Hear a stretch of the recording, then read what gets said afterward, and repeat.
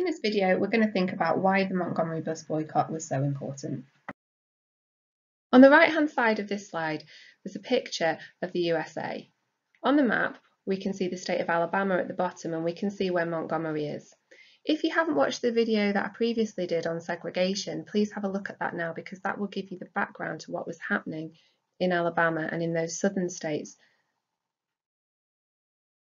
On the left-hand side of this slide, you can see a bus. Segregation meant that white people sat at the front of the bus and black people sat at the back of the bus. Now, if more white people got onto the bus, then the space for black people would get smaller and white people would expect them to give up their seats so that the whites only section of the bus would become bigger if that bus was crowded.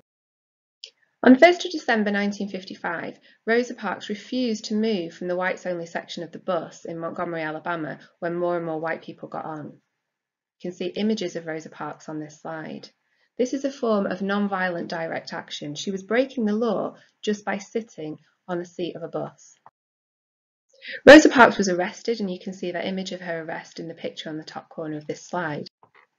Rosa Parks was an active member of the NAACP. This was a pressure group, the National Association for the Advancement of Coloured People, and they took action to end segregation and improve the rights of black people all across America, but especially in the South, because they wanted to end the racist structures and practices in everyday life that black people experienced in America.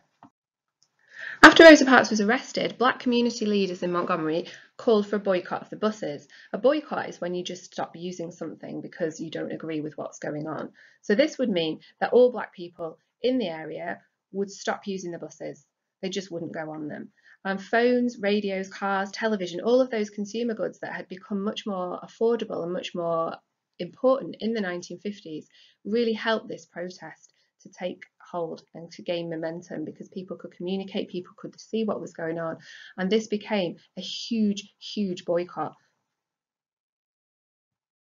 Here are some images from the Montgomery bus boycott that lasted almost a year, and during this time, black people walked, cycled, car shared, they did not use public transport. So African Americans provided 75% of the bus company's business. So all the time that black people and any white people who joined in their protest were refusing to use the buses, those bus companies were losing huge amounts of money.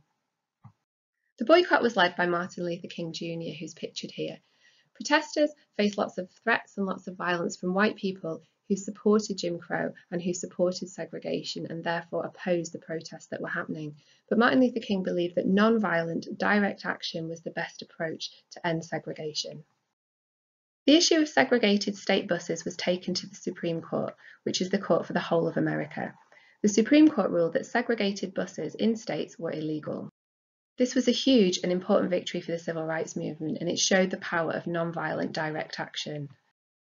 It's the second example in a couple of years of the Supreme Court ruling that segregation was unconstitutional. The first example was in the case of Brown versus Topeka.